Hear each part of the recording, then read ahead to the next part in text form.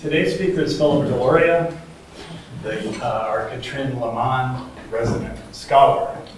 Phil hails from an extremely distinguished Lakota family of intellectuals and an artist or two, if I'm not mistaken. Um, he received his bachelor's degree from the University of Colorado Boulder, his PhD in American Studies from Yale University. He served on the faculty of UC Boulder, the University of Michigan, and now holds the Leverett Saltonstall Chair in the History Department at Harvard. I've never met anybody named Leverett, Leverett Saltonstall, but only at Harvard. it's a very distinguished chair for a very distinguished scholar. His award-winning books include Playing India, 1999, Indians in Unexpected Places, 2004. He serves as a trustee of the National Museum of the American Indian and is past president of the American Studies Association and recently completed a term as president of the Organization of American Historians. His awards and recognitions are too numerous to name, but I think you get the idea. and some, we're delighted to have him at SAR, and I hope you'll join me in welcoming Phil Dillon.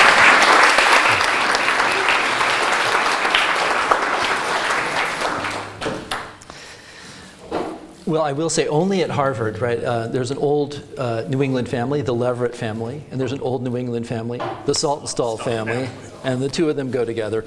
Um, Leverett Saltonstall was uh, actually quite an interesting uh, senator back in the 50s and 60s, really integral to uh, preservation of the Cape Cod seashore, um, big supporter of the national parks, and really kind of nicely for me, a big supporter of the Smithsonian. So my term as a trustee at the Museum of the American Indian, it seems like it's, I was worried, you know, they give you the name of this chair and you think like, who is this guy? But he ends up being okay. So, um, so I want to first of all just say how grateful I am to be here um, in Santa Fe um, uh, on the ancestral territory of O'gha Po'oge Owingeh. Um, as we all know, this entire continent is all indigenous land and indigenous territory. And I think whenever we gather, we need to sort of stop, pause, reflect on that, reflect where we sit in relation to this particular place. I'm also really grateful to um, SAR, to Michael, to the staff who's really kind of pulled it all together for all of us as fellows and visitors. It's really a fantastic and amazing place, and I just could not be more grateful, right, to be in your company, uh, the company of the folks who are here. Um, and with that, let me get going. So, on the night of November 12th, 1833, uh, in bison hide teepees and Mandan earth lodges, crowded slave quarters and adobe apartments, urban brownstones and wooden longhouses, New England salt boxes and frontier cabins, the people of North America drifted off to sleep. In the hours before dawn, they would be awakened by the shouts of their friends and neighbors. The sky, as one observer described it, was on fire. For perhaps four hours, the Leonid meteor storm of 1833 sent thousands of meteors hurtling from the sky. The falling stars, watchers said, were as thick as snowflakes in a winter storm. Fireballs hung in the air, pulsing with the candle power of a massive lightning bolt. Bolides, large meteors that produce the sounds of a sonic boom, added to the power of this meteor storm. Well, the event ended with the light of dawn, although meteors continued to fall, though they were now invisible, uh, and a disparate collection of continental peoples began to make knowledges, to contemplate through the lens of an unthinkable phenomenon the epistemological questions of how it is we know what we think we know. Here's a kind of basic definition of epistemology. I know one of our colleagues here is a philosopher, and I'm hoping that at some point he'll school me on this a little better than I'm schooled. Um, so the, these people began to ponder and question, to speculate and explain, to testify and to preach, and to turn their fear and their wonder into memory and history. Now, there's a lot of ways to think about epistemology, and I'm only just beginning to sort of do that, but just a couple of ways or kind of categories. Up in the upper left, you can see sort of a standard way of thinking about some ways which we think we know we, what we know. On the upper right, my colleague Jill Lepore has been thinking a lot about the nature of evidence. There was a kind of fantastic New Yorker piece, as there always is from Jill every couple of weeks, um, in which she sort of thought through these kind of different forms of evidence and the ways that we might make sense of them. The kind of lower right, we can see. Uh, a kind of set of different Christianities that were sort of unfolding, um, since this is, uh, you know, sort of shifts um, in this moment from kind of mainline Protestantism to various forms of evangelicalism to the possibility of actual revelation coming out in the Christian tradition through the Church of Jesus Christ of Latter-day Saints, for example, which claims this. And then on the lower left, we can see certain kinds of changes in the scientific paradigms that people were thinking about. All of this is some part of this package about how people were actually trying to make knowledge. Having said all that, let's go and start with a story. On the upper Missouri River, the German explorer naturalist Prince Maximilian of Wied Neuwied was part of a kind of epistemological encounter. His journal entry for November 13th reads In the morning, bright sky, raw, strong wind from the west. At 9 o'clock, a mandan with a very concerned face came and told us there had been an extraordinary sign in the sky. Shooting stars had soared toward the west last night in great numbers, by far more than usual. This meant war or high mortality among humans, he asked what Mr. Kipp thought about it. Later, other Indians came Dipach, Sichida, and another handsome man with noble features, Adapusa. All of them spoke about the meteor shower so inexplicable to them. After 10 o'clock, the weather was bad. This is how these journals usually work. So it's a short passage, but a rich one. Here's some of the possible interpretive work that one might do. Not long after the meteors had vanished with the dawn, a man, Mandan man, unidentified, comes into the Fort Clark Post to do what? To report the news? To receive an explanation? To convey a warning? Maximilian understands that the meteors carry meaning for the Mandan. They are not simply an event, but also a sign, a text to be read, a thing demanding interpretation. Well, one common interpretation for meteors and comets for many people in many places is frightful. The meteors are a portent, a sign with predictive power. The falling stars demand of the present a consciousness of the future, one that carries a value and a direction. In other words, something bad is on its way war or death or both.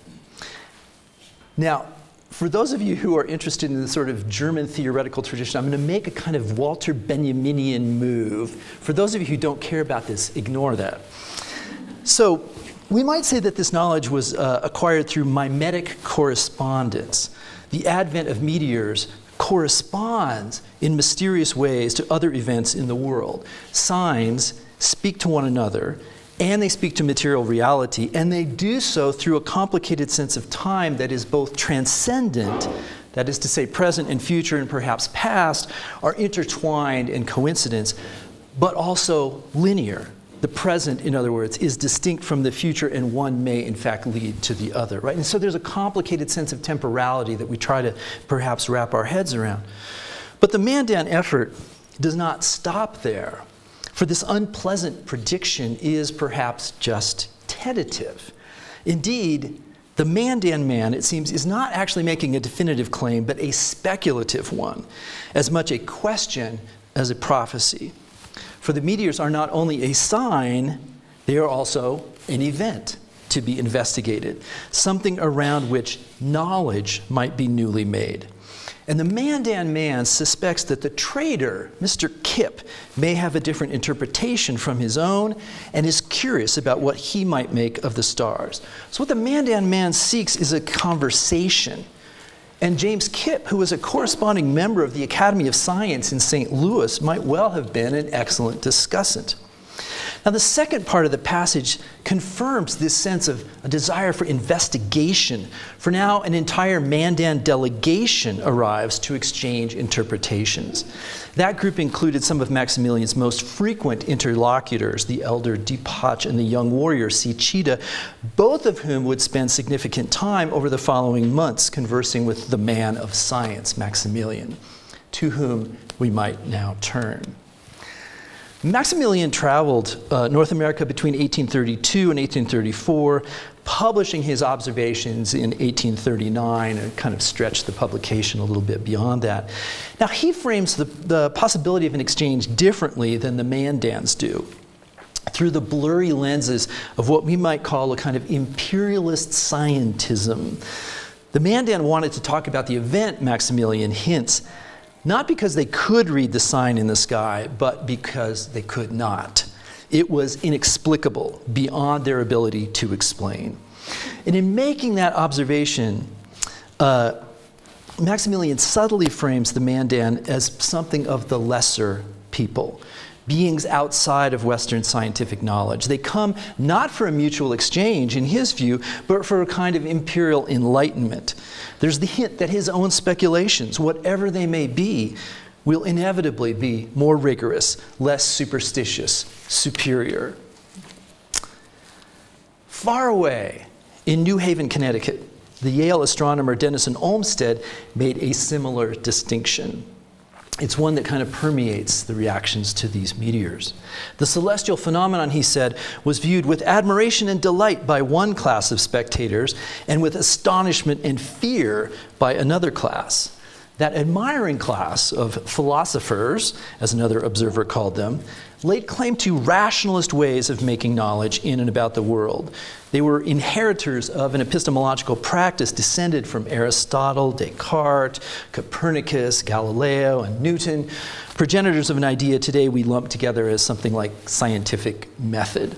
Gather, observe, and interpret evidence, make deductive claims that lead to potential hypotheses, test hypotheses, even seeking to falsify them, analyze results, and generalize them as the abstraction we sometimes call theory. Now, if some Mandans read the stars as a sign to be interpreted, others saw it very much as an event to be investigated and perhaps explained. Enmeshed in this situation of cross cultural exchange, Sichida and Dipach imagine that all of them, traders, Indians, naturalists, artists, might pool their knowledge and figure out this inexplicable thing together. Olmsted and Maximilian, on the other hand, saw a world or seemed to see a world in which Indian people, among others, could not, by definition, have an observational science on par with that of scientific elites. We know from sort of thinking about what uh, native North America looks like that this is actually just not true.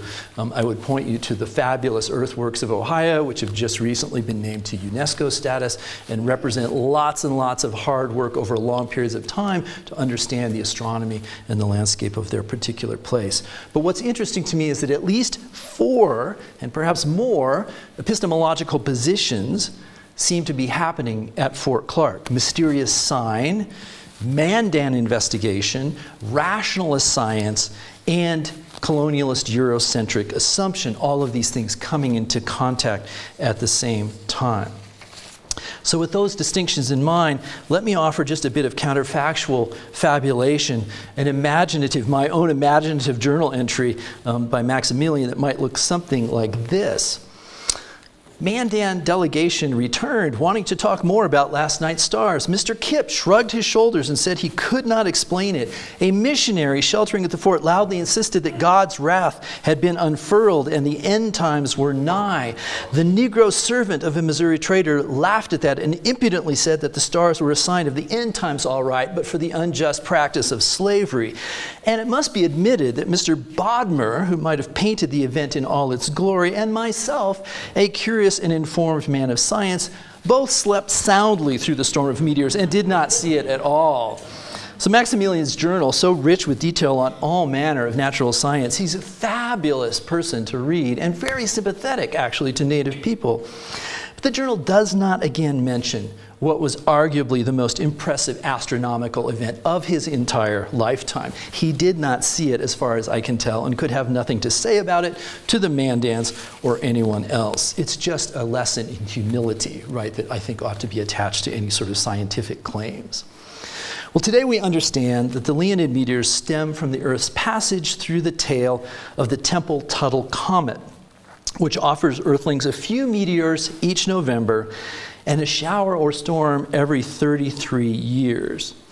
We also understand that the 1833 meteor shower was world historical in its power, comparable only to storms in 1966, 1566, 1238, and 934. I've kind of circled these on this really interesting kind of chart.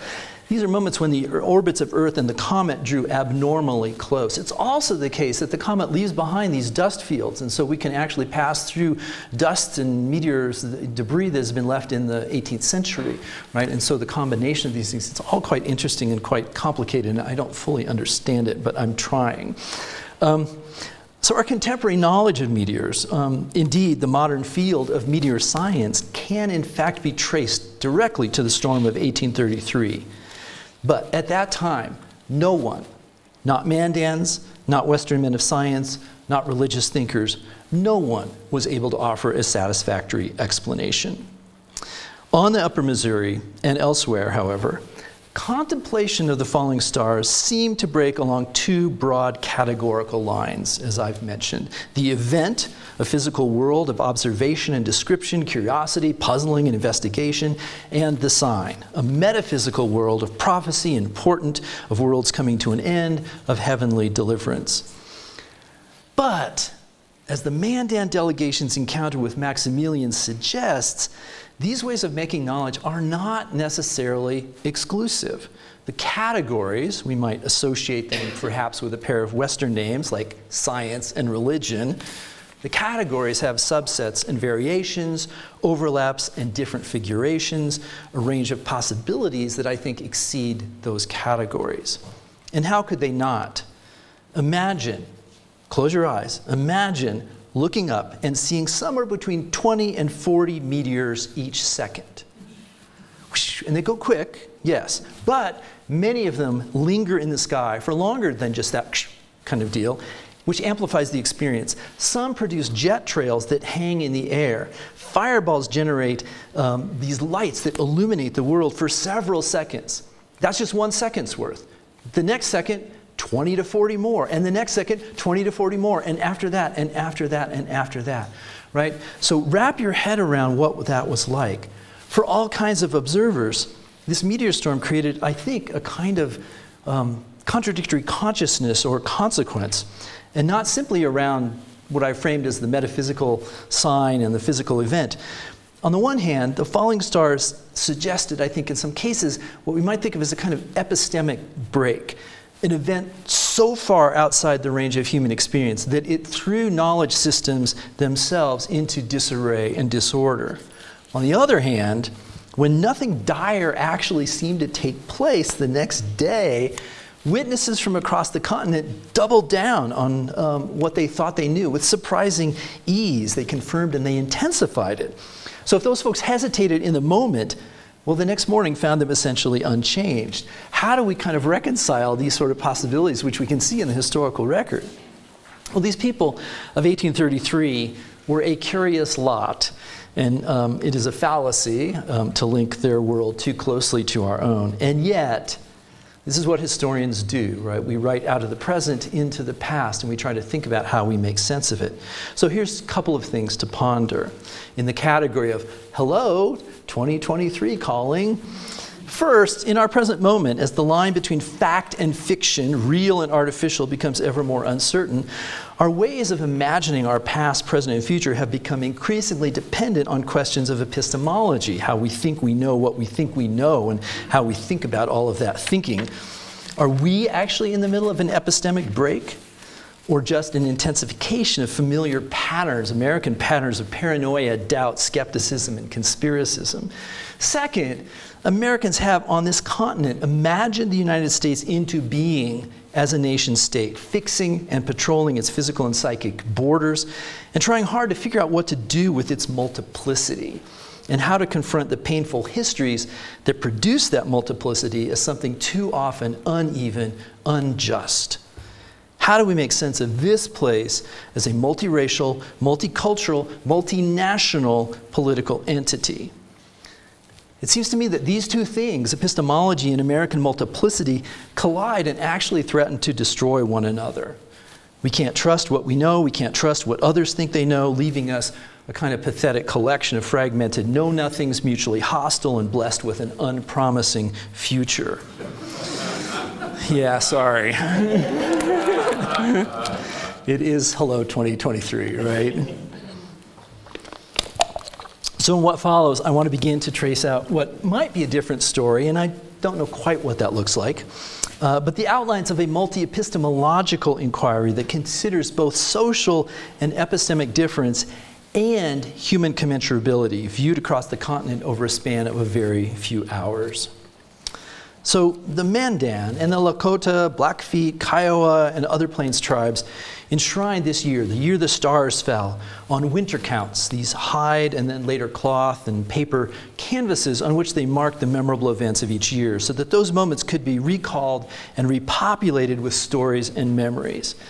Winter counts could be quite idiosyncratic, recording the local particularities of specific groups, but everyone keeping a winter count and across the plains marked down the year of the falling stars, 1833. But so did other native folks as well. Cherokees, dealing with uh, Indian removal, right? Um, in the Cherokee Phoenix, uh, devised a sarcastic prayer of the Georgians in which they sort of um, forced the Georgians to actually kind of repent in relation to the falling stars uh, Akimel O'odham um, calendar stick, which actually begins in 1833 with the year of the falling stars. And Pawnee people who constantly saw themselves as a social group completely and intimately linked to the stars, right? Um, they also sort of told these stories about this particular kind of event. So it happens all across Indian country, all across North America. These winter counts suggest, and calendar sticks and other things suggest distinctively uh, or distinctive ways of thinking about time and about natural phenomena. While some have argued that many Native societies de emphasize temporality and historicity, favoring spatiality and locality instead, my father among them, the relationship seems to me to be somewhat more complicated. This idiosyncratic but memorable strategy of the winter count emphasized the social meanings attached to the past, creating a historical consciousness, but one of a different kind. The strategy of the West, numbered years in linear arrangement, is powerful to be sure, producing a very useful sense of history and historicity. In that way of measuring time, what matters is not so much what happened at any one time but that years follow one from another inexorably, um, and that this flow of time produces cause and effect relations of change, and thus the narratives that we call history. Winter counts measure temporality, but not through storylines that track change over linear time, although it is the case that in some winter counts, right, people are in fact bouncing back and forth, right, across time.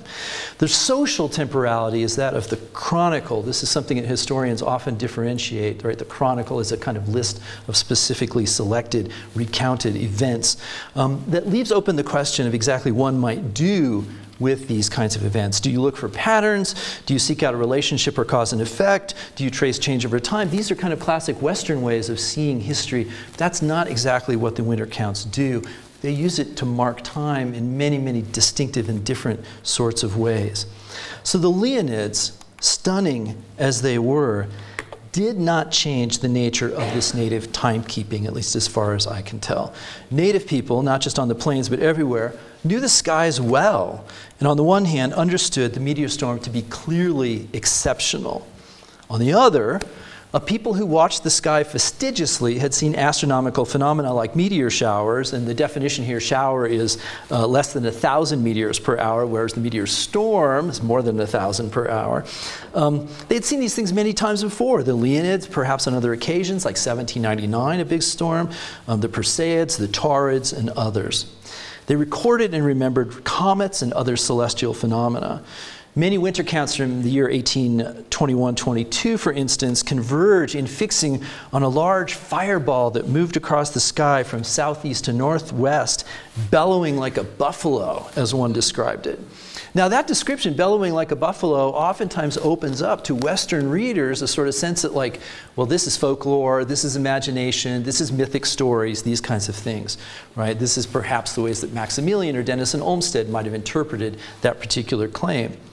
But as Von Del Chamberlain, who's done a lot of this really interesting work, observes, the acoustic phenomena accompanying fireballs are often complex Usually, there are several sonic booms followed by clattering or rumbling, which might go on for some tens of seconds. The booms are produced by large fragments and other sounds by smaller fragments, all moving beyond the speed of sound. The entire acoustic event may last the better part of a minute. So, this 1821 fireball, observed by native people and recorded by them, was perhaps something less than the 1833 meteor storm, but it was one among many significant astronomical events that became social markers around which intimate and local memories might be recalled. So while fear may have been one way of understanding Great Plains native responses, a better word might be awe. And I use the word in the same sense as religious studies scholars who suggest a kind of reverential encounter with the sacred, that holy thing that cannot be fully explained, but which must be investigated. And that, I think, would be a Northern Plains approach, must be investigated. So, simultaneously, mysterious omen and observational challenge, native epistemologies ignored, collapsed, and transcended those Western categories of science and religion. And whatever the meteors were and meant, they did not mark an epistemic break. As the keeper of the Mandan butterfly winter count would later recall, Yes, I have heard of that story. All the stars in the sky fell to the ground. The crow people in the mountains saw them, and our people saw them fall also. It happened at night, but no one knows just what the stars were or if they really struck the ground. I do not know whether the Indians were frightened by the falling stars or not. Well, the experience of the falling stars must have created an intense shock to the system. Today we understand meteors and we assure ourselves that a meteor storm is nothing to fear, even as we imagine planet destroying asteroids and launch missions to sort of take them out, um, or at least plan those missions.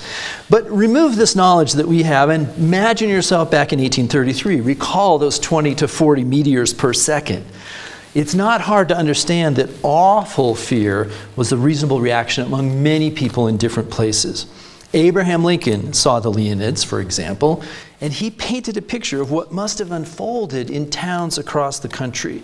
One night I was roused from my sleep by a rap at the door, he said, and I heard the deacon's voice exclaiming, he was lodging with a deacon at the time, Arise, Abraham, the day of judgment has come. How biblical is that? So the meteor storm arrived near the tail end of the Second Great Awakening, the religious revival movement that reoriented Protestantism towards evangelicalism and helped generate new American religious traditions, including the Adventists and the Church of Jesus Christ of Latter day Saints. The camp meeting and the mass revival were its forms, and it was driven by a millennialism that made the end of the world a key element in the ways its believers constructed and received knowledge. So if the end times were coming, awakening demanded a human effort towards perfectibility. You wanted to get as good as you could, right, before Christ emerged and sort of brought the end times on. And so individual free will and accompanying social reform became baked into its culture. In 1831, for instance, William Miller advanced a complicated set of calculations based on readings of biblical prophecy that seemed to suggest the second coming of Christ was imminent. He targeted 1843 and then later 1844, such that the years between would be full of signs of the times. This was the title of the newspaper that the Millerites, there was a whole bunch of them, launched in 1840 to advance their cause. Nor was William Miller alone. The messianic missionary Joseph Wolff set 1847 as the moment of Christ's premillennial advent. He, in turn, deeply influenced Harriet Livermore, a celebrated woman preacher who sermonized about the end times to Congress, President Madison, who dismissed her, um, and the cabinet in 1832, 38, and 43. And she actually preached to Congress one more time after that as well. True believers in the end of the world were liberated in a way to experiment, create, emote, and prophesy, and they crafted a distinct epistemology that fused religious millennialism with oftentimes radical social experiment. Central and Western New York, the so called burned over district, kicked up spiritualism, Mormonism, utopian colonies, social radicalism, abolitionism, women's rights, vegetarianism, and prohibition. It was a profoundly weird place living through a profoundly weird moment. You might experiment with free love. Imagine that in the 19th century. Or imagine conspiracy theories about those Freemasons over in their lodge trying to secretly dominate the world. Hello, 2023. Or hunt for buried treasure at night and find sacred, uh, sacred tablets and white salamanders. Millennialists pointed to natural signs as evidence for their claims. The Great Comet of 1811, the New Madrid earthquake of 1811 and early 1812, and unsurprisingly, the Leonid meteor storms of 1833. One anonymous commentator warned those speculating on various natural causes for such things to think again, to acknowledge that God's hand was in it, and it was all done by his special direction quoting prophecy, and I will show the wonders in the heavens above and the signs in the earth belief, blood and fire, and etc. The writer demanded, Are we not ready to say that it must mean something to take place at or near the end of the world? Those who took interpretive meaning from the Bible pointed frequently to the book of Mark, and the stars of heaven shall fall, and the powers that are in heaven shall be shaken. Writing from Ohio, Benjamin Lakin observed that some thought the day of judgment was come and the stars falling and called their family together for prayer. Others made it a subject of sport and merriment. And so it will be when the general judgment comes. Some will be praying and some laughing. The Church of Jesus Christ of Latter day Saints founder Joseph Smith noted in his diary that the stars were indeed a sign of the impending second coming of Christ and perhaps a punishment on those who would oppress the church. In Missouri, Redick Allred, a recently baptized member, was trying to survive the anti Mormon hostility that has seized the area of Jackson County.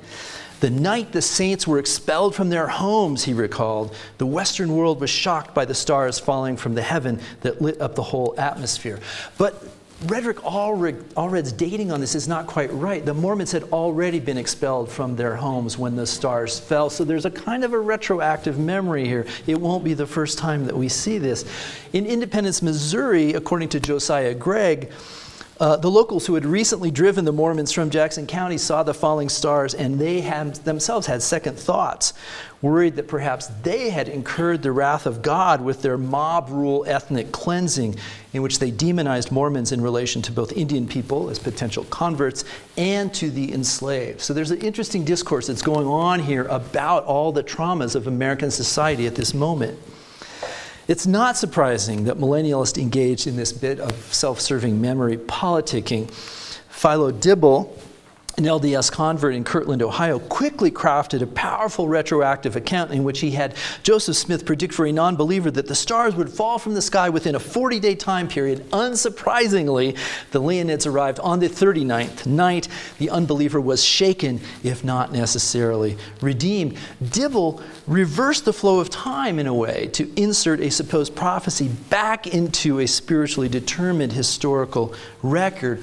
And the effort mixes both cynicism and true believership. The meteors put less cynical, more devoted revivalists to an epistemological test. Could they fully entrust their production of knowledge to faith alone, to a holy book, to a prophet? Were they really ready for the second coming? Look out in the streets as the stars fell from the sky. You might see people carrying burdens on their consciences. Josiah Henson, the supposed inspiration for Harriet Beecher Stowe's Uncle Tom, saw some of those folks as he encountered the Leonids on an Underground Railroad mission to liberate enslaved people in Kentucky. I reached Lancaster, Ohio at 3 o'clock in the morning, found the village aroused, the bells ringing, the people exclaiming, The day of judgment is come. And I love this. I thought it was probably so, but felt I was in the right business and walked on through the village, leaving the terrified people behind. The stars continued to fall until the light of the sun appeared. Henson, a preacher in his own right, walked straight through a millennialist crisis of faith, knowledge, and conscience as he proceeded through the town, focused on a material experience he knew to be true and pressing that of enslavement and freedom. Many observers mentioned the ways in which the stars marked a communal and collective awareness among those who had been enslaved, one that often pointed to the immediacies of struggle and the possibilities of divine intervention in the tradition of the biblical Moses, right? A particular form of slave Christianity that's taking shape here. In one WPA slave narrative, for instance, Abraham recounted, so many grown people crowded into the house, it weren't no use for me to try to get in. Many people crowded together under the foot high sill underneath the house. Jane Clark, only 11 years old and forced to rise at 4 o'clock in the morning to fetch water. She had to make five trips a day to this spring to bring water for the house. Saw the stars fall. The scene uh, reported a later recorder, is vivid in her memory. The children were on their way to the spring. They were not old enough to be alarmed by the unusual sight, but ran along trying to catch the stars as they fell. On November 13th and 14th and 15th and after, Southern slaveholders began telling themselves stories that traded in the distinctions so firmly drawn by Denison Olmsted unenlightened people of bondage in superstitious terror, a planter elite responding with confidence and intrigued appreciations. Slaveholders insisted that the enslaved had run in fear to find their enslavers, begging them for protection against the end of the world. Like Philo Dibble, those slave owners recovered quickly from the shock of the falling stars and immediately crafted narratives that fit the world as they knew it, a place of unquestioned white supremacy. I'm not saying that enslaved people were not afraid. Um, there's ample testimony that they were, in fact. But these kind of narratives about who has rationality and who has confidence and who is afraid, I think, you know, are, are found quite frequently here. But those claims proved hard to sustain, particularly when contested by accounts from those who had been enslaved. Harriet Powers' magnificent pictorial quilt, crafted between 1895 and 1898, takes up the falling stars, centering God, the enslaved, and if you look closely over here, a mouse. White slave owners are not to be found in her description. The falling stars of November 13th, the people were frightened and thought that the end had come. God's hand stayed the stars. The varmints rushed out of their beds. And for those who are interested in sort of contemporary versions of this, Robert Pruitt has this sort of beautiful thing, um, you know, where he sort of takes and remakes sort of icons of African American culture. Um, so here you can see he's playing with Harriet Jacobs, uh, Harriet Jacobs quilt. In Georgia, as reported and then reprinted in William Lloyd Garrison's Liberator, a slave owner ran out in nothing but a shirt and took fearful refuge under the house, which was raised up on blocks. One of the Negroes, as much frightened as his master, sought the same refuge, but finding his master there, suddenly explained, This place won't do for me. It's not safe here. The master is too wicked. And he got out and ran off. An oral history passed down from the formerly enslaved Amanda Young observes that, in fact, everyone was scared. The white folks started calling all the slaves together, and for no reason, they started telling some of the slaves who their mothers and fathers was and who they'd been sold to and where. The old folks were so glad to hear where their people went, they made sure we all knew what happened. You see, they thought it was Judgment Day. Harriet Tubman's biographer suggests that Tubman interpreted the stars as a sign of judgment coming to the unjust, and Frederick Douglass seems to have had uh, thought in similar terms. I witnessed this gorgeous spectacle and was awestruck. The air seemed filled with bright descending messengers from the sky it was about daybreak when I saw this sublime scene. I was not without the suggestion at the moment that it might be the harbinger of the coming of the Son of Man.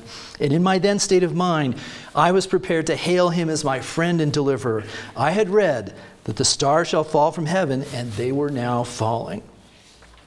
So, if evangelicals welcomed the second coming and enslaved people saw deliverance, white Southerners betrayed the ways that slavery structured their own thinking even as the thought of judgment complicated their understanding of themselves. It made, I think, for a curious epistemological stew.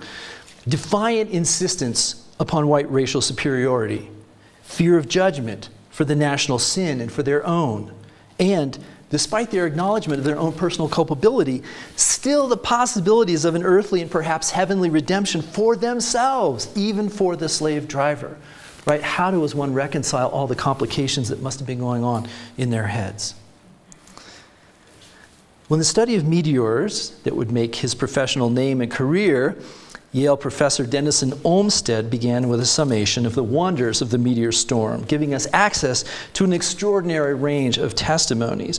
Olmsted's project began with the publication of his own description of the event in the New Haven newspaper which concluded, as he said, with a request for information from other observers. Olmsted's account was republished in other papers, creating a network of scientific gentlemen dashing off letters back to Yale. And combined with the reporting of other American newspapers, Olmsted created, as Mark Littmann has argued, the first crowdsourced science, assembling a compilation of observations and then systematically analyzing them for common themes. As he did so, Olmsted encountered diverse abilities among these men of science. Offering what seemed to be calm and reasoned descriptions, these correspondents often let their speculations intrude upon their empiricism. Many linked the meteors to the weather, and they provided detailed accounts of temperature, precipitation, cloud cover, and wind pattern and velocity. Indeed, Olmsted's own prior work on hail may have led him naturally into what seemed a similar phenomenon. And he observed that it is hardly possible to persuade ourselves that two concurrent phenomena, both so remarkable as the change of the weather and the falling stars, were independent of each other, though it may prove a difficult point to decide the nature of this connection. Here's correlation mixing with causality. Caught between rigorous observation and speculative theorizing, the accounts reveal science in a developmental mode, somewhat unformed in method, and open to those with a newspaper, a pen, and a stamp. Indeed, one of Olmsted's major uh, sort of informants was a guy who was basically just making it all up as he went along, and Olmsted had to sort of integrate this made up stuff into his data set. So many observers thought that the meteors were manifestations of electricity, one offering proof in the form of extrastatic generated when rubbing a silk handkerchief as he watched the stars fall. Some theories tied this atmospheric uh, electricity to earthly elements, perhaps in the form of emendations and vapors rising into the sky and then igniting. This idea can be traced all the way back to Aristotle, who theorized four elemental forces fire, air, earth, and water that might come together, right, that rose up into the atmosphere and might come together as meteors, which was his term for anything that took place in the sky. Amazingly, in 1833, this Aristotelian system still had legs. Many believed that the stars were small objects close at hand rather than big objects far away.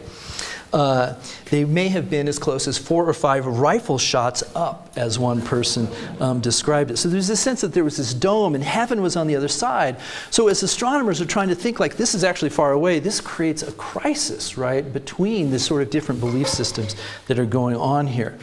And the word meteor continued to have Aristotle's expansive meaning referring to a whole class of sky objects dust and gravel, blood and other gelatinous substances, even the odd reports of grain and fish falling to the ground. Um, there are a lot of these kind of crazy reports. As one expert explained it, some philosophers are of the opinion that the wind has sufficient power to sweep from the surface of the earth large masses of various substances, lifting them to great heights in the atmosphere. And while there was some understanding of stony meteorites, uh, observers only occasionally drew connections that would have linked them to the shooting stars. More likely, they thought, these rocks, these meteor stones, meteorites, were the products of lightning strikes. Here and there, a rock, analyzed for its composition and found to be iron and nickel, as so many meteors are, would be described as being as preceded by a meteor of fire. Uh, but the general tendency of people of science at this moment was to make fun of anybody who thought that meteorites were the product of meteors, and in fact to sort of really emphasize this lightning theory, which then, of course, went into eclipse um, and became kind of a ridiculous theory. And then, of course, now we know lightning actually does interact, right, with um, things. There's Mount Shasta um, with these fulgurites, these little block spotches. I mean, Mount Shasta gets a lot of lightning strikes, and it actually transforms the nature of the rock. We've seen this with sand, you know, as well. So it's all, but it's all very much up for grabs at this moment. In fact, the territory between geology, um, atmospheric science, and astronomy was tremendously murky.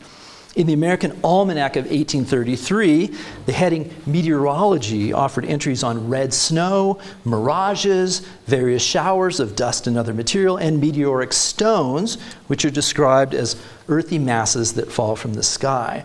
Their origin remains a mystery. Some suppose they are thrown from volcanoes in the moon uh, within the sphere of the Earth's attraction, in other words, an astronomical explanation. Others, that they exist completely formed in the atmosphere, in other words, an atmospheric or sky explanation.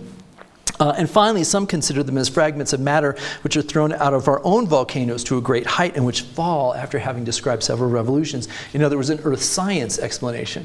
Right? So all of these things are mingled together, right, in these sorts of explanations.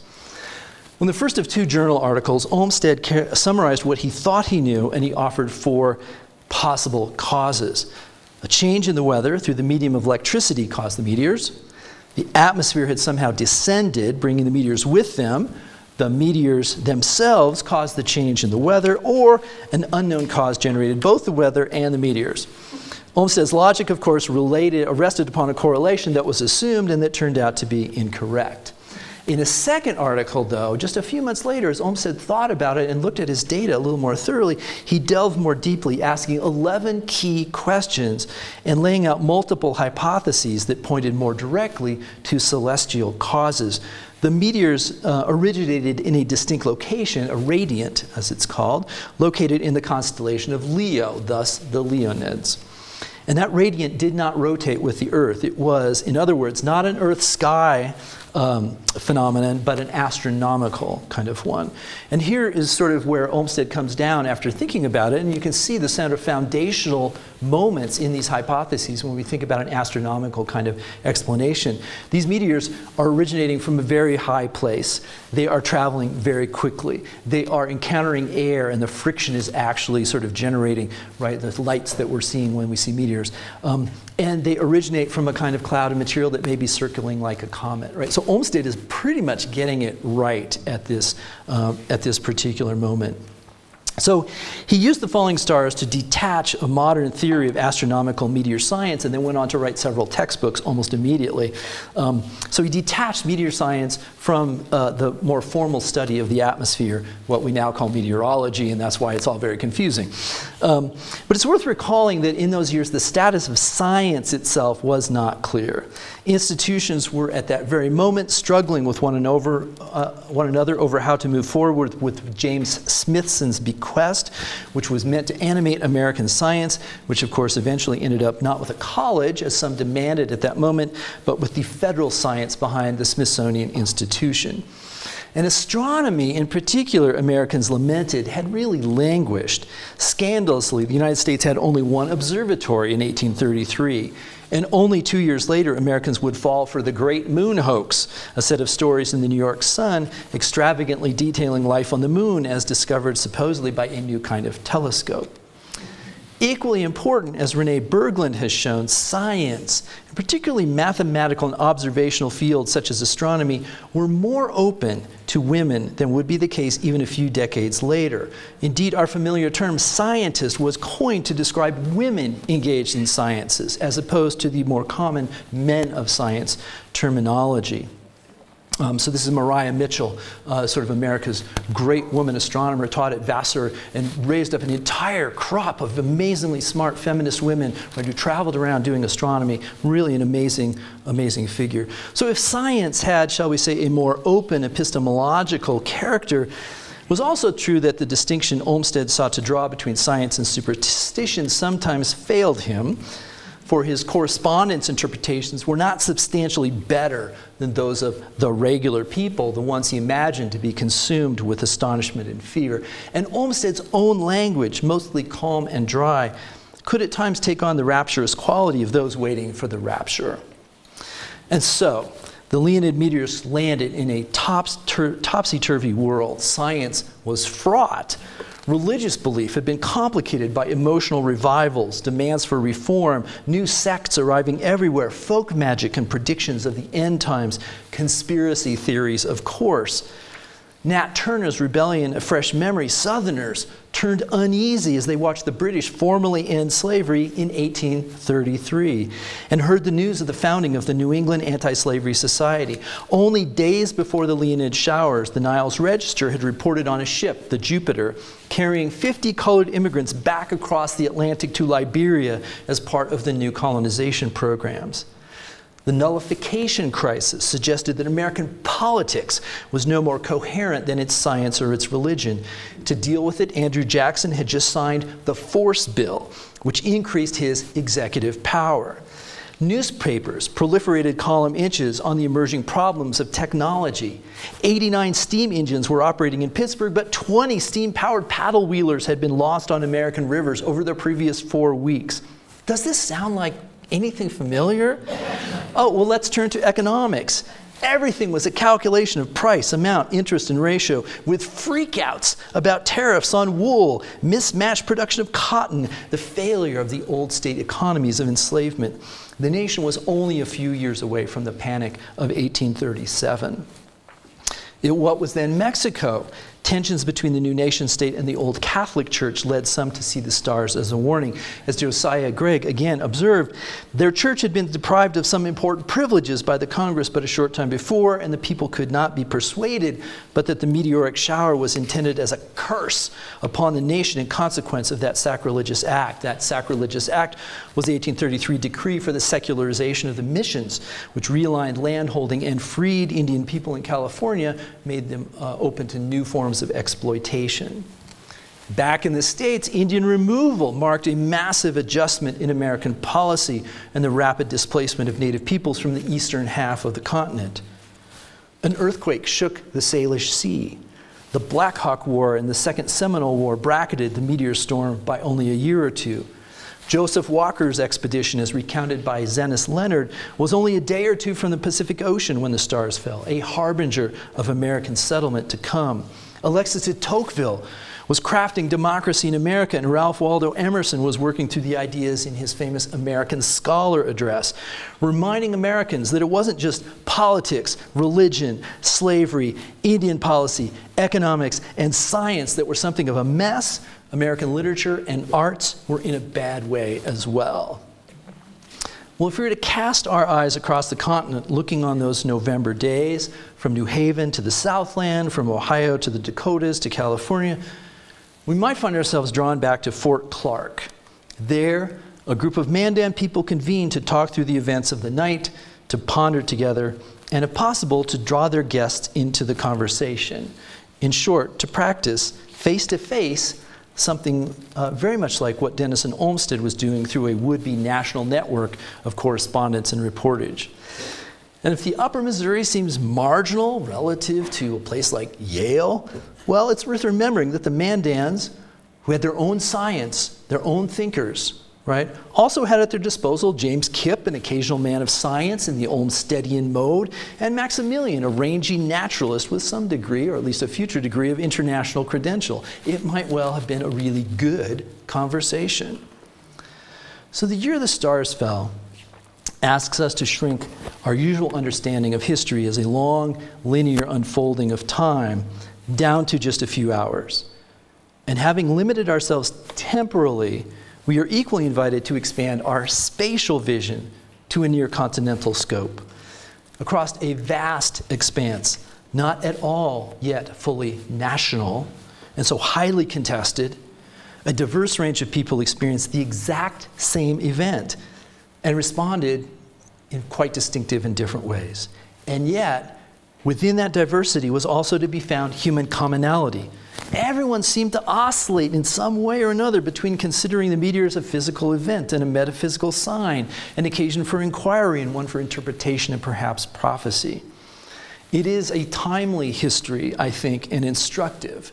For we are at a moment when the continental nation, that is the present day United States, looks as messy and complicated as it did in 1833. It reminds us, right, that as crazy it is uh, now, right, times are always crazy. Right? History is always crazy.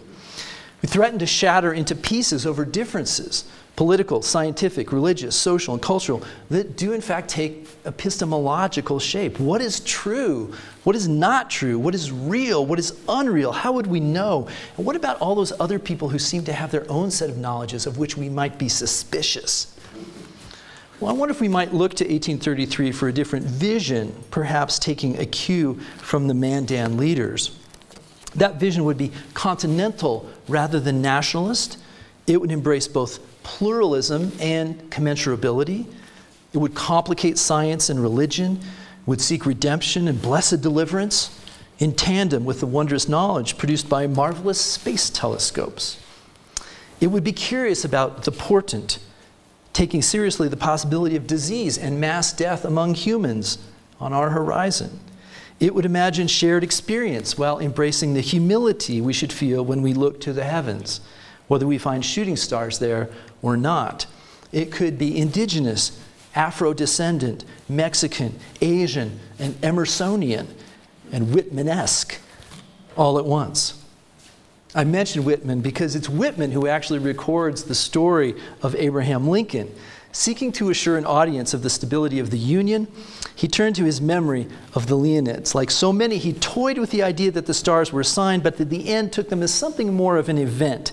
I saw the stars falling in great showers, but looking back of them in the heavens, I saw all the grand old constellations with which I was so well acquainted, fixed and true in their places. Gentlemen, the world did not come to an end then, nor will the Union now.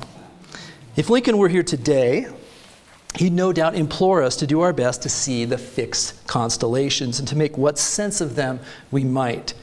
The story I've told is highly incomplete. I'm completely aware of that. But perhaps it offers just a glimmer of possibility. For some, we see the constellations as Orion and Sirius. For others, we focus on the North Star. For still others, Tyamenipa and the great native constellations. Same stars, different reading. Same stars, different reading. Same stars, different reading. Same stars.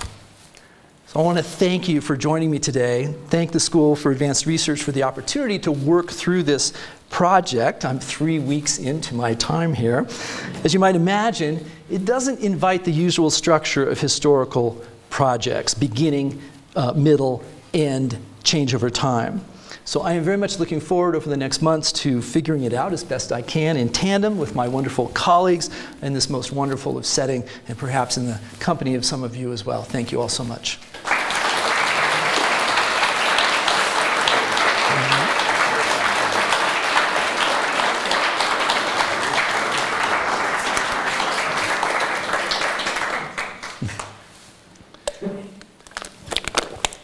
And I believe we now take some questions.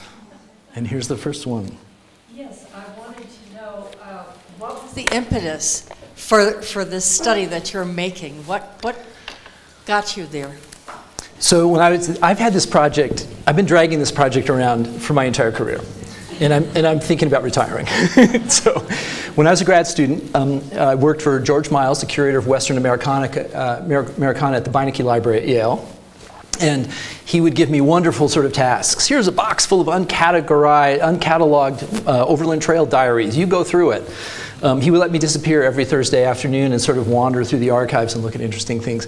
George and I got very, very interested in winter counts. We did an independent study together, sort of looking at all the different winter count literature and thinking a lot about time and temporality and history in relation to the winter count. So that's actually the way that, um, that I entered the project, thinking, and that's why there's such a large section of it, which is focused on the northern plains.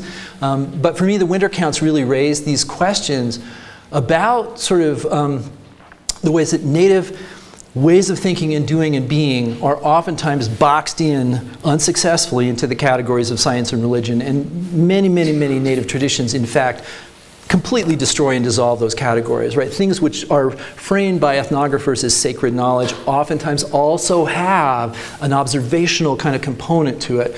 And, you know, and for me, this has become even more urgent, you know, as sort of native knowledge has become part of a broader kind of conversation, right? When we think about Robin Wall Kimmerer sort of taking science and uh, native knowledge and bringing those things together. Um, it also, I would say, comes to me through my, my dad, Vine Deloria Jr.'s own real strong interest in the ways that native traditions and science actually might sit together in, a, in an uneasy tension that had not been fully realized, really. So some part of it is trying to think through some of those things a bit. And then, of course, once you realized it became, once I realized it became continental, and I had friends start sending me things, you know, and so, and then over the years, I've had, you know, four or five really talented um, research assistants.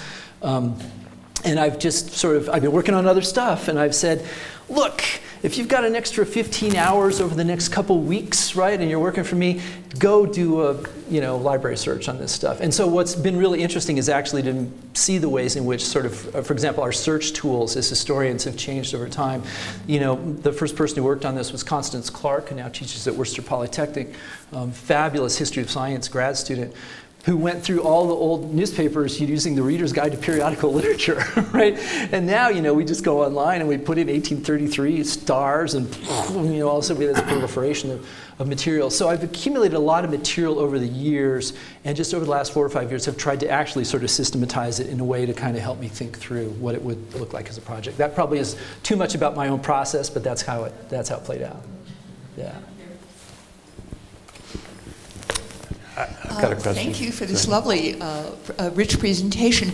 I wondered, uh, in this uh, uh, wonderful attempt to uh, get really the science, if you will, and the mythological, the fabulous together, have you thought about the uh, earlier phenomenon uh, that continues, I think, into the 19th century of wonder, uh, the phenomenon of wonder, which I think crosses over uh, the concept of rapture um, and the various sciences. And, and um, I think one of your broadsides said remarkable phenomena.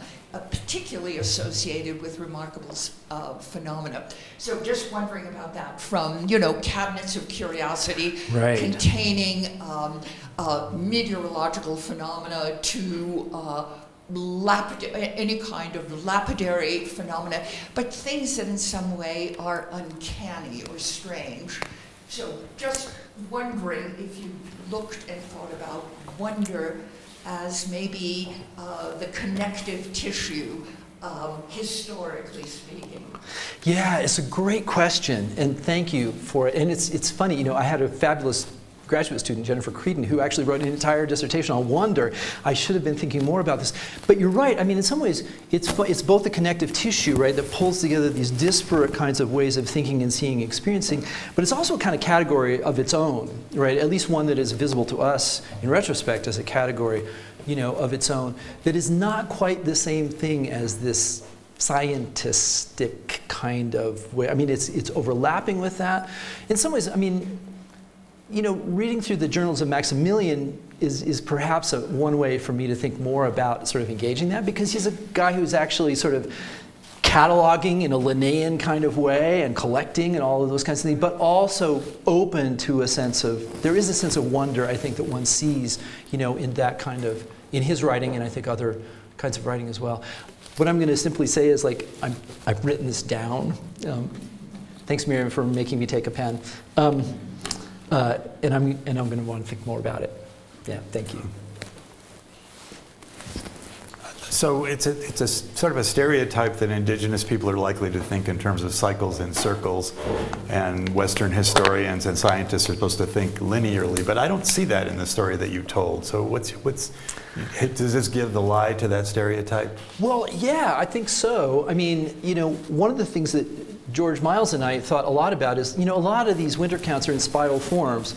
And at that time, people were saying, oh, the spiral is because Native people think in cyclical terms. I'm like, the spiral is not a, a circle. The spiral is a linear thing that is arranged, right? I mean, it's, so it's not exactly that. It's something that allows you to claim a linearity you know, out of it, I think these things are way o- oversimplified. Mm-hmm. I mean, I- think, you know, to, to say these things in some ways is to always, always already position Native people in a kind of primitivist romantic fantasy, right, of people who like don't see time and kind of you only see space and, and you know, but I, that's just not, and what that denies Native folks is a history of rational engagement and encounter and serious empirical, uh, you know, living and investigation with their worlds. And these are people who know their worlds really, really, really well. You know, and how do they get to know them? They, they get to know them through spiritual kinds of practices, which are completely and totally integrated and linked, right, with thought and reason and all kinds of engagement, right? I mean, so, you know, when it's wintertime and it's time to tell stories, I mean, these stories are not just sort of, oh, isn't this a kind of cute mythological story, right? These stories are the occasion, right, for deep philosophical kinds of exchanges and thoughts. So it's always felt to me really important to, to sort of reclaim, right, um, sort of linearity in addition to right? The sort of sense of time as a super complicated thing. Perhaps it's got cyclical dimensions. Perhaps, right, it's got spatialized. Yes, yes to all of those kinds of things. But I, I think it's it's robbing native people of a quintessentially human kind of practice, right? Of investigate, and, and it, it also it allows us to, to lay scientific method back as a Western thing, but that's just not true, right? We think if you digest what that is, if you abstract it, it's like I pay attention to what's going on in my world, right? Well, how often do we see that in native stuff? Black elk, pay attention, right? Always pay attention. We pay attention to our world. We observe what we see right? Uh, we remember that. We form kinds of theories or ideas about it. We test those ideas. This is the story of native people in their encounter with their worlds, right? Right? We pass on that knowledge to other people. We accumulate it over time, right? So why defer that kind of practice only to the West when in fact native people have been doing that always? So yes, I, am quite polemical on this, right? I mean, I totally, totally think that like these things are misframed, you know, for us in, in ways that dehumanize Native folks, and, and, and they're, they're not right. This is not right. I don't mean to have my voice get all raised. I don't, to, don't mean to raise my voice at you on this. I'm, I'm just curious that all of this is very America-centric. And it would seem to me if, if the Earth is passing through this huge meteor shower, they would have seen them in China and in, you know, Europe and in Africa. And are, are there not stories and legends and history of their reaction? Um, for this particular one, it's pretty North America kind of centric, right? So it's not, it's not the case that everybody on the planet gets to see the meteors every time that they, they appear. So in 902, which is really the first observation of this, this is Middle Eastern kinds of observations. There's Chinese, as you would quite rightly expect, uh, observations from Chinese astronomers that go, that, that, are part, a deep part of the record there. Um, but not every shower is visible in every particular kind of place. Yeah. It is really interesting. And it's one of the things that, after Denison Olmsted, a guy whose name is Newton, but it's not Isaac Newton, it's and it's not Huey Newton either. It's, it's, it's I, am blanking, I'm blanking on his first name. In any case, in the, in the 1860s, he's actually um, theorizing co the comet theory, and he's figuring these things out. And one of the things that he does is he goes back in the historical record. He's really the first astronomer to dive deep into the historical record and to say, like, oh my gosh, it happens here, it happens here, it happens here, it happens here. The 33-year cycle, right, comes out of that sort of between Denison Olmsted and Newton. They figure this out, and then there's a prediction like, well, if it's a 33-year cycle, we, and we saw one in 1799, Olmsted actually also sees this, that um, Humboldt in South America sees the meteors in 1799 they start collecting, well, who also saw it in 1799? This guy, Andrew Ellicott, who's a sort of interesting naturalist who's on a ship in the Caribbean, he sees it. Some folks in the Atlantic actually see 1799 and 33. So all of a sudden, Newton and others are starting to collect historical data that allows them to say, in 66, there will be another meteor shower. And then there is, and yay, science has worked, right? We have made a prediction, right? A theoretical thing. And one of the things about theory is it predicts as well as describes. It predicts, and in fact, the prediction is successful. Then what, I mean, this is an interesting little sidebar. Then what happens is they're like, well, in 1899, it's in 1899 is a complete bust. And so there's astronomers who say like this was the most damaging thing that ever happened to American astronomy was that the meteors didn't show up in 1799. And then it's also the case if you remember that little chart, you, there's it kind of goes like this, and then there's a series like this, and then it kind of tails off, right? So the Leonids won't last forever, right? They're going to disappear. We won't see them, you know, anymore. And you couldn't really see them before the 8th century. So we're in this kind of historical, you know, kind of moment. So people in the in the 20th century were actually thinking, oh, you know, we're pretty much done with them. And then 18, uh, 1966 appears kaboom, it's this amazing meteor shower. But what's really interesting to me is the 33 shower left behind a ton of records. I'm certainly not the first person to sort of think about this. Mark Littmann, who I mentioned before, has written a quite wonderful and fun book about, about these. He's a sort of historian and kind of writer on astronomy. Um, you know, but 60, how many people remember the Leonids of 66? I was alive. I don't remember them at all. I, you know, so there's these moments where things come and go into our historical memory, which is also a bit of a, a part of it. Why 33 so powerful? I think it has something to do with that particular moment of science. And by 66, astronomers are figuring this stuff out. They're very excited. Um, but the rest of us, I don't know. I, maybe I just missed it. But. Thanks for this. Um, I was struck by the really wonderful poetic way that you closed and this question of, I think, what really felt, felt really brilliant and powerful about this to me was the matching of medium and method, always, or medium and message, right? And so I guess my question is really this description of a continental but not national, physical, metaphysical, diverse, universal, you know, that this kind of amazing analytical work that you're doing, you ended attributing to a Mandan view of 1833, the year the stars fell. And so I wondered how much of that's the view from the ground you know, with the Mandan character you're starting with, how much of that's the kind of analytical work you've been developing along the way, and how, if you might talk a little bit about the development of those two perspectives. Um, Ali, so great to see you.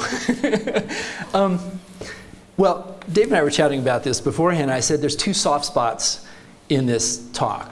And, and I think, you know, one of them is, why aren't you saying more about the Southwest given that we're sitting in Santa Fe? And the answer to that is the research sort of you know, trajectory actually has not led there. And one of the things that's very exciting for me about being here is to actually sort of, you know, engage that um, question. The other is this thing that you point to is, is my sort of gesture to the present moment, right? Which in some ways, you know, I, I see as being more rhetorical than analytical. Um, you know, it's a, it's a rhetorical gesture that says history matters, and this particular history matters, and you might not think that 1833 matters, and you might not care about astronomy or meteors or anything like that in the light of our present crisis, but in fact, it's a rhetoric that says, please will you pay attention to this history and think through it, you know, think about it, um, as opposed to a kind of analytical, you know, kind of, um, you know, kind of claim um, about its you know, it's a rhetorical claim to significance as much as an analytical claim.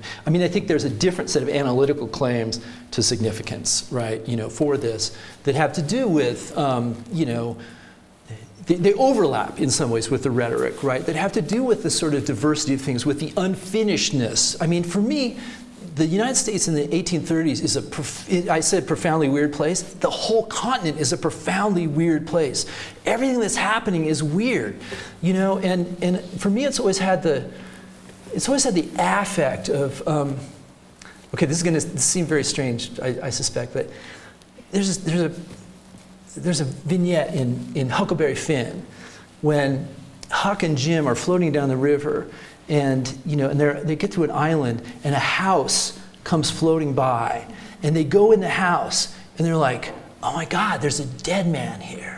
And there's a dark lantern and there's greasy cards everywhere and there's some clothing and it's like i don't know about you but the affect of that to me is so weird right? And it's like that is 1830s america right? It's just a weird place. It's a violent place. It's a creepy place. It's an unfinished place. It's full of all of this sort of oddness to it. And you know so some part of what i want to do is to try to capture you know capture that. Um, uh, and to, I, I think, sort of de-essentialize our sense that, like, of course, science has been going since the Enlightenment and the Renaissance and all that stuff. It's not true, right? Science is a mess in this particular moment. And the fact that people in the 1830s are still believing in Aristotelian kind of figurations of the earth, that to me is mind blowing. So, it's, so all of these things, I think, like, do actually kind of point us um, well, maybe, maybe I'm coming around to analytical, you know, as well, right? Because there's still people out there in the world who believe that there is a dome across the planet, right, and that we've never actually penetrated the atmosphere, that no one ever went to the moon, et cetera, et cetera, right? So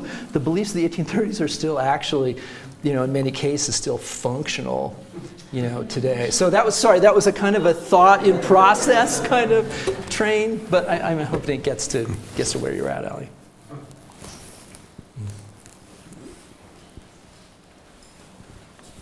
Thank you for such a wonderful presentation.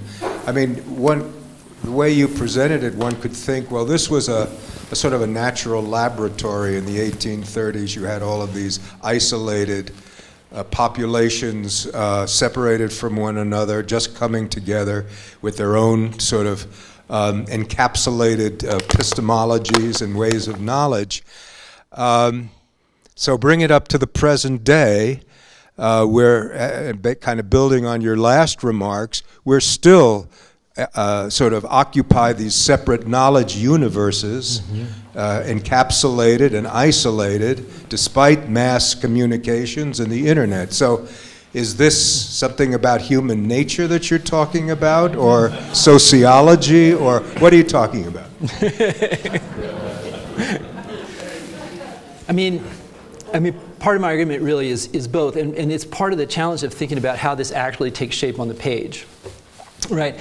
Is the better strategy to say, like, this is a messed up world of diverse kinds of things, and I'm going to walk you through each one and show you how different they are, and then I'm going to come back around and say, like, you know what? Guess what? There's a kind of humanist argument I want to make about the commensurability of these responses and the similarity of them. In other words, do a kind of big comparative thing where it's like difference, difference, difference, difference, similarity, right? I mean, that might be one strategy, and it's a strategy that I think would sort of, you know, ask us to make that as a spatial kind of thing across the continent, but also would imply a kind of temporality to it, right? If the claim is that it's a humanist thing that is perhaps well, being figured historically also has transhistorical kinds of dimensions to it, right? I mean, so that might be one kind of strategy and one way of thinking about like saying this is why it's relevant to the present moment because all the stuff that we're seeing then we're still seeing now. All the responses of human beings back then are the same responses we're seeing now.